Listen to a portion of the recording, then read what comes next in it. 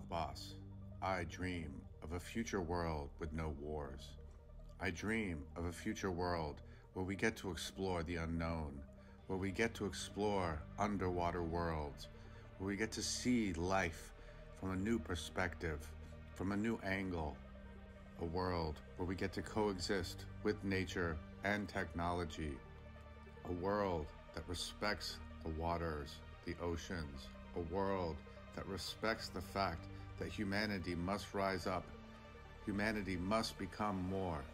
You see, life is about creation. Life is about exploration. Life is about experiences and making new memories. And it's up to us to decide how we want to carve out this future, how we want to carve out this new world. Because deep down, life is supposed to be fun. Life is supposed to be imaginative. Life is not about being a slave, but literally about living.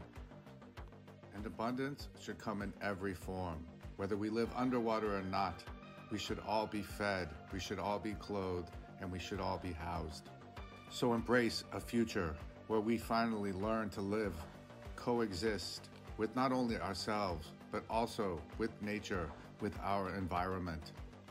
We, humanity, finally learn to respect that which gives us life, that which nurtures us, that which feeds us, that which cradles us. For humanity is on the brink of great change, and we don't realize it, but we are capable of so much more.